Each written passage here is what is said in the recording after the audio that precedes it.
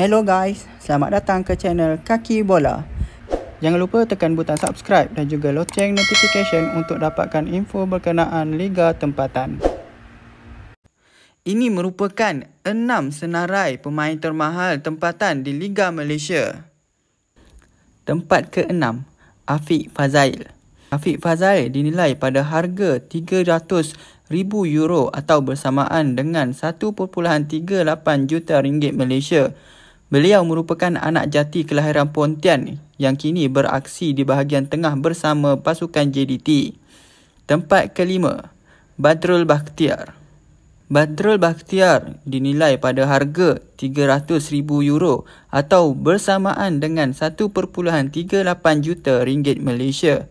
Kini, beliau bermain bersama pasukan Sabah FC setelah meninggalkan pasukan Kedah yang telah disertainya dari tahun 2005. Tempat keempat, Sapawi Rashid. Sapawi Rashid dinilaikan pada harga 300,000 euro atau bersamaan dengan 1.38 juta ringgit Malaysia. Beliau kini bermain dengan pasukan JDT.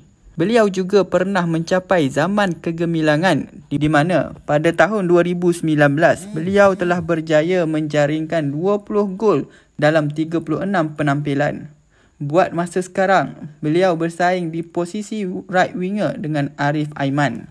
Tempat ketiga, Arif Aiman. Arif Aiman juga dinilaikan pada harga 300,000 euro atau bersamaan dengan 1.38 juta ringgit Malaysia. Beliau kini bermain di posisi right winger di pasukan Johor Darul Takzim. Dan beliau juga merupakan antara pemain yang sedang meningkat naik dan sentiasa perform dalam setiap perlawanan sehingga kan agak janggal jika namanya jarang disebut dalam sesuatu perlawanan. Tempat kedua, Matthew Davis. Matthew Davis dinilaikan pada harga 350,000 euro atau bersamaan dengan 1.64 juta ringgit Malaysia.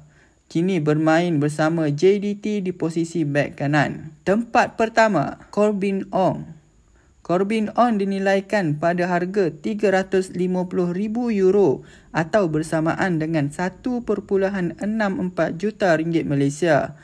Dari awal sampai ke Johor Darul Takzim, boleh dikatakan dalam setiap perlawanan, Corbin On akan bermain. Sebelum menyertai JDT, beliau dinilai pada harga 272,000 euro atau bersamaan dengan 1.26 juta ringgit Malaysia. Sampai di sini sahaja perkongsian untuk kali ini. Jangan lupa tekan butang subscribe dan share channel Kaki Bola. Sampai berjumpa lagi di lain video.